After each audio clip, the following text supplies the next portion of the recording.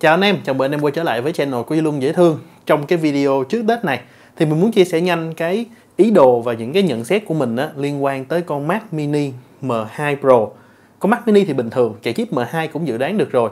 Tuy nhiên á, cái việc mà có một con Mac Mini mà chạy chip M2 Pro á, nó mở ra cho chúng ta thêm rất là nhiều option để các bạn, đặc biệt là các bạn làm dev, các bạn làm những cái việc giống giống như mình nè. Dev nè, video nè, lướt web nè hoặc là làm một số thứ hơi nặng hơn một chút xíu mà có thể là con M2 nó không cân được á, thì bây giờ chúng ta đã có một cái lựa chọn tốt hơn là M2 Pro. Rồi, bây giờ thì mời coi video ha.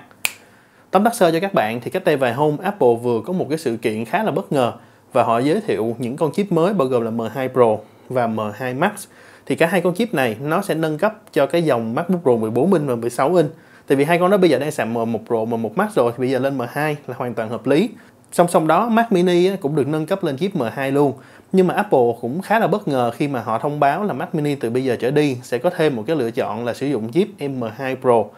Trước đây khi mà chúng ta nhìn vào Mac Mini thì nó sẽ nằm ngang hàng với lại những con ví dụ như là MacBook Air hay là iMac ở trên thị trường đang chạy chip M1.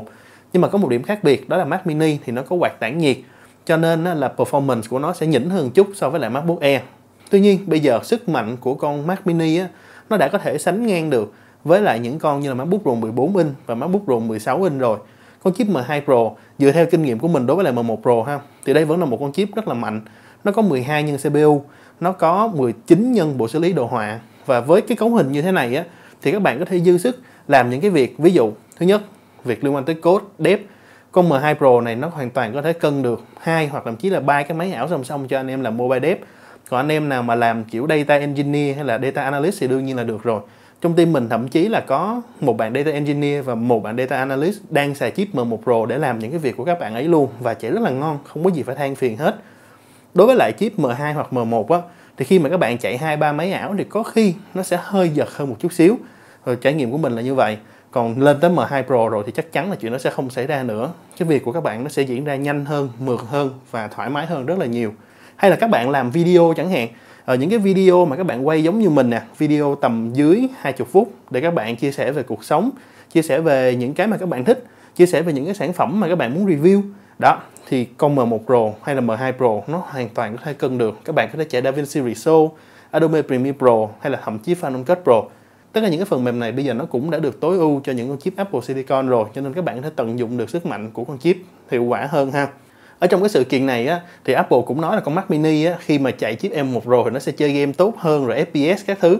Nhưng mà thôi đối với phần game thì mình tạm thời bỏ qua đi tại vì game cho Mac thì cũng không có nhiều cho nên là thôi skip ha.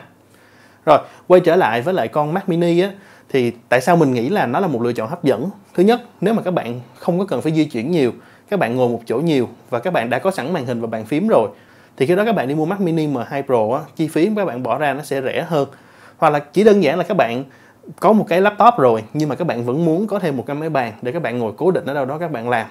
Các bạn có thể để nó trên công ty để mỗi khi các bạn đi làm, bạn khỏi sách laptop chẳng hạn. Thì đây cũng là một cái lựa chọn mà các bạn có thể cân nhắc. Tức là bây giờ ha, con Mac Mini nó đã lên được một cái mức performance mới và nó mạnh hơn so với lại con Mac Mini trước đây.